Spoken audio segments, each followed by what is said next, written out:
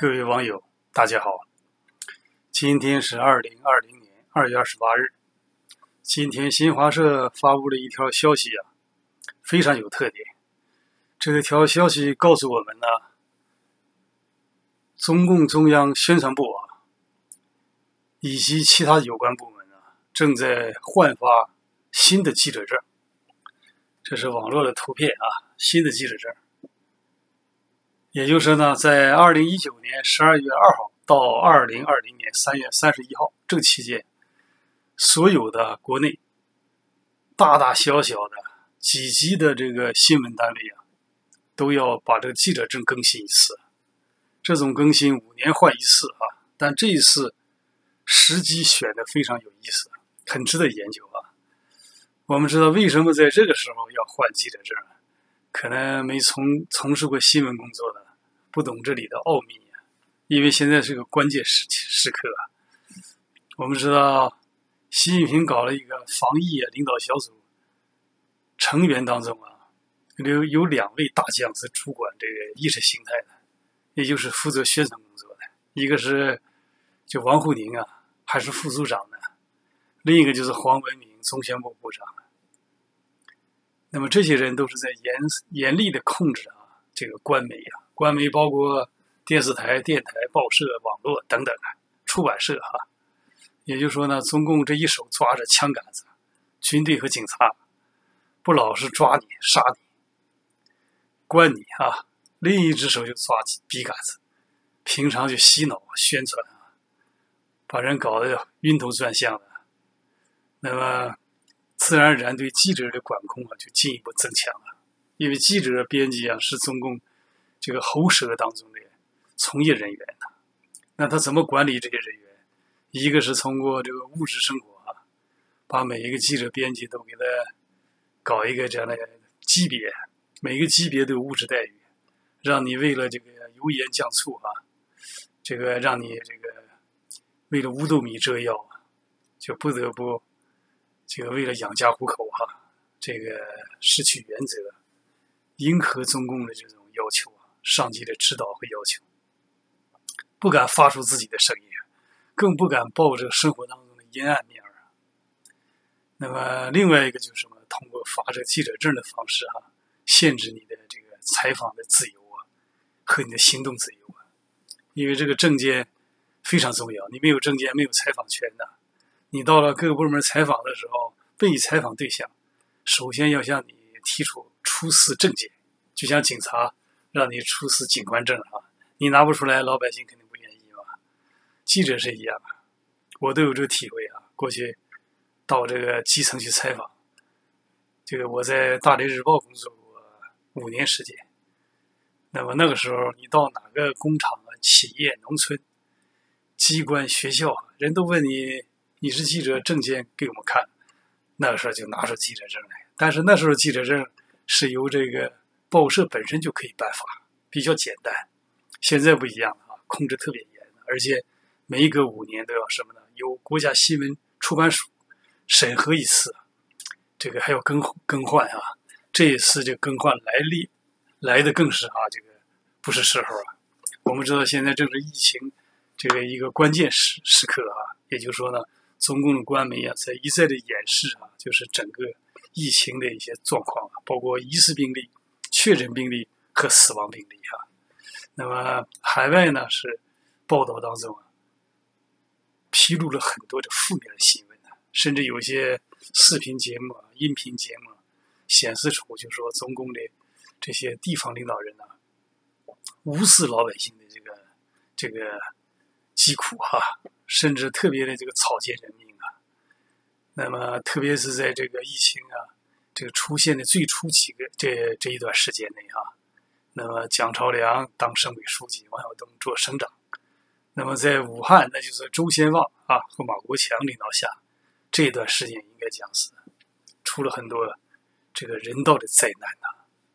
这方面在过去的视频当中，很多的网友在海外都可以看到，我这里不去。赘述，我要讲的什么呢？就说有很多人呢，这个埋怨啊，甚至指责这个官媒记者不去报道。这个我想很多人不了解官媒是怎么回事啊？你想，就拿记者证来讲吧，他现在这个时候正在换记者证呢，换记者证的时间比较长啊，而且分批换啊。根据网络的消息，是先给那些领导，这个报社、电台、电视台这些领导换记者证，然后再给下边这些从业人员换。换的过程当中啊，还要有一部分人不能取得记者证的。为什么呢？就是因为这里讲到哈，就是有些人呢，这个在这个表现当中，这个参新闻采访过程当中啊，存在的问题，什么问题呢？叫新闻敲诈和假新闻，这个违规申请新闻记者证等。那什么什么叫新闻敲诈？那可能有一些的确有些媒体工作人员借这个机会到企业去。这个开油哈，去这个索贿呀，拿些好处，这种情况是存在的。但是我认为啊，这不是主要的，主要就是因为有些记者揭露了生活的阴暗面了，所以他就给你强加一个罪名——假新闻呢。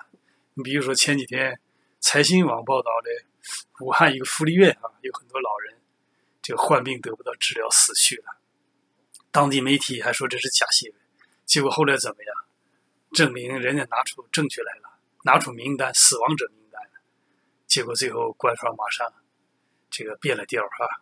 那同样的，李文亮当时也是在微信群，当然他不是报道了啊，他仅仅是微信群聊天担心自己的朋友啊、同事这个感染病毒啊，所以提醒他们。没想到那警察还给他抓到派出所去做笔录哈，对他进行恐吓威胁，还拒绝悔过，那也是打压这个。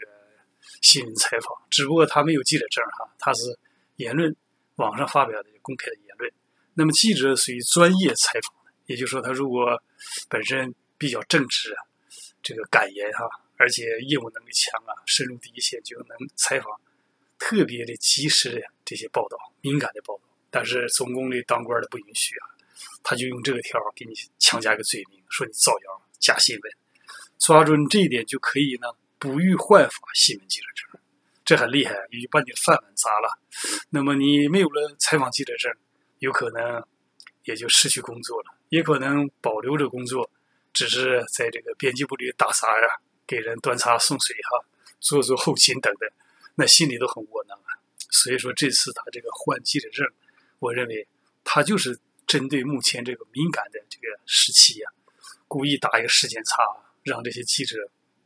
疲于奔命，你们正在等待记者证，当然你就不可能出去采访了。而且这个发记者证，发给谁不发不发给谁，什么时候发都是上级领导的决定。那领导肯定就要看哪些人表现好，哪些人听话，哪些人是唱颂歌，哪些人挑刺儿。那肯定挑刺儿人就人就给你暂缓，或者根本不发记者证。对那些唱颂歌的啊，那些两面派、两面人、溜须拍马的。他赶快给你发个证，知道你拿证了以后，也只能去就随着官方的这指挥棒跳舞哈，带着锁链跳舞啊。你看今天我看网说新华网发表了一篇文章，讲到这个国家卫健委的这个一个主任呐，他讲到什么呢？他讲到现在是三零啊，说方舱医院三零，怎么叫三零？零感染、零死亡、零回头啊！你相信吗？我肯定是不相信。你想那么多的人聚集在一起，怎么能零感染？互相感染这个是很正常的。他零感染，他竟然敢这样报道，而且零死亡。那么零死亡的话，为什么前几天这个李泽华公民记者李泽华这个采访的一个镜头显示，有这个青山殡仪馆把这个这个尸体啊搬运这个这个工作承包给了一个包工头子了？他为什么给包工头子？包工头子还要悬赏，还要这个招聘人员呢？向外地招聘搬运尸、搬运尸体的工人，那就证明死的人特别多呗，肯定不正常。你看他竟敢这样报的，零回头啊！零回头什么意思？就是说这个人出去以后再没有再回来，再没回来住院呢，彻底治愈了，是这样吗？我对他这个叫马小伟哈，国家卫健委这个主任讲的是三零啊。我估计也是造假，竟如此讲大话骗老百姓啊？怎么可能呢？如果像他讲这样，那现在就已经这个取得了这个防疫工作的彻底胜利了，可以不防了。我们知道，现在整个这个这个武汉市啊，十六家这个方舱医院啊，一万三千多个床位啊，他竟然披露了一个数字，说是现在空床有五千六百张啊，就是床等人啊。但是你看这个网上那些视频，这个报道啊，通过这个陈秋实啊，还有这个李泽华啊，这个方斌他的报道当中，我们可以看出，很多老百姓患病以后。这个就医也得不到及时的治疗啊！我们可以通过这个公民的记者哈，这个来弥补记者官媒记者缺位的工作。他们展示那些材料看，根本不是这么回事儿啊！此外，再看现在一个著名的武汉的女作家叫芳芳，她写的日记啊，那日记还是比较真实的。她是个作家啊，用自己的眼睛，而且她没有采采访权呢，所以说她看的范围非常有限啊。仅仅是局限于自己这个居住这个小区啊，那么即使是这样，也可以看出这个防疫工作漏洞是太多了，并非像中共官媒吹嘘那样啊，他们就想用什么用欺骗的办法误导老百姓，要想复工复产了，那么就宣传形势大好，让人放松警惕啊。等到人们这个病情蔓延泛滥的时候，他没有办法又走另一个极端了，就是干什么呢？封城。任何人不让出来啊！甚至把小区这个外边出行的这个门洞的大楼，这个这个门洞里边这个铁门都用这个焊条焊上去，非常看了令人就是厌厌恶啊，给人这个生命啊这个不当回事儿啊！你看这个十七号令和十八号令朝令夕改，你就可以看出这个说所谓的严防死守啊，根本都是有漏洞的，形同虚设啊！所以说，造成这个武汉女子监狱这个姓黄的女士啊，能够这个单刀直入啊，一路顺风，从这武汉直奔这个蔡奇统治下的这个北京啊。你通过这个事情都可以看到，中国中共官媒啊，整天都在那撒谎吹牛啊。明明现在这个这个疫情蔓延了全世界啊，招致了韩国、日本等许多国家沦陷啊，造成了意大利也封城啊。但是你看官媒还在讲什么呢？习近平。战果大义呀，还在歌颂大好形势啊，把这个一场悲剧啊当成一个这个赞美诗啊，在颂扬，大言不惭，厚颜无耻哈。你看，在这种情况下，他们肯定这个治治理的这个重点的人群是什么？就是新闻记者。所以这一次他发发换发这个全国的范围内这个记者证啊，分三批啊，历时这么长时间呢。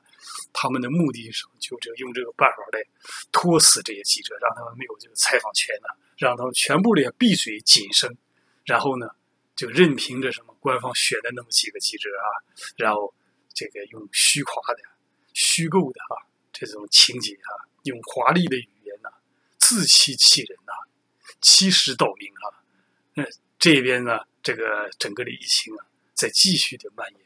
所以说，这种自欺欺人的做法啊，只能招致啊更大的灾难呐。那么今天的另一个海外奇谈节目就到此结束了，非常感谢广大网友的收看，谢谢，再见。